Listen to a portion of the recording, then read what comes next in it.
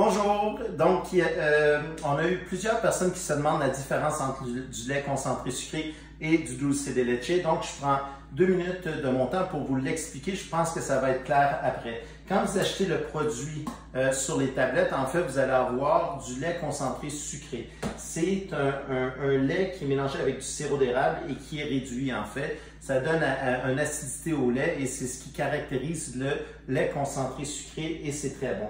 Par contre, si euh, le, lait concentré qui est dans la conserve, on le met en immersion complète dans l'eau et qu'on le cuit pendant deux heures de temps, on va à la fin avoir un dulce de leche. Donc, c'est le même goût, la même acidité du lait, mais qui est mêlé avec un, caramel, en fait, euh, à l'érable, et c'est ce qui fait que c'est si bon. Donc, je vais juste vous montrer comment y arriver. C'est très simple. Vous allez avoir une conserve.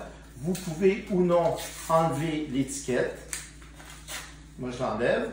Et vous mettez la conserve en immersion complète dans une casserole. L'important, c'est de toujours avoir un pouce et demi à deux pouces par-dessus la conserve et garder ce niveau-là tout le long de la cuisson.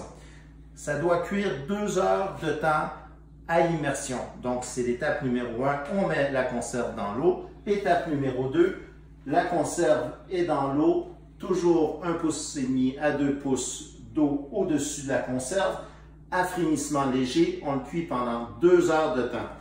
Après deux heures de temps, étape numéro 3, on retire la casserole, on prend la conserve qui est à l'intérieur et c'est chaud, et une fois qu'on l'ouvre, on va avoir notre caramel qui est si extraordinaire et qu'on appelle dulce de leche à l'érable. Donc, quand on achète le produit sur les tablettes, c'est du lait concentré sucré. Quand le lait condensé sucré, la conserve va passer deux heures de temps dans un eau frémissante, on se retrouve à avoir du dulce de leche. Merci et bon appétit!